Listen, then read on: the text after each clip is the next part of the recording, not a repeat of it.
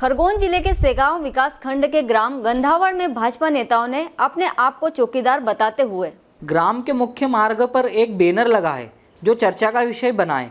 जिसमें लिखा है कि मेरा गाँव चौकीदारों का गाँव है। कांग्रेस इस गाँव में प्रवेश होने से पहले एक बात का ध्यान अवश्य रखे। एक हाथ में ग्राम के सभी किसानों का ऋण मुक्त प्रमाण पत्र हो और दूसरे हाथ में नकली मत पत्र रखे। अन्यथा किसान समाज को अपमानित करने वाले समाज को सम्मान की अपेक्षा लगाया गया ये किस क्यों बैनर ये बैनर क्यों लगाया गया है? ये अभी विधानसभा चुनाव में जो कांग्रेस द्वारा एक घोषणा की गई थी ऋण माफ़ी की क्योंकि हमारे गाँव में बहुत से लोगों ने कांग्रेस को वोट दिए। उस घोषणा के पीछे। पर अभी तक किसानों का कर्जा माफ़ नहीं हुआ है। और उन किसानों में जो आक्रोश, उन किसानों ने इस घोषणा के पीछे जो वोट, इनको मत मत किया, उसका उसका रिज़ल्ट ये मिला कि आज वो कापरेटिव से ओल्डी हो गए हैं।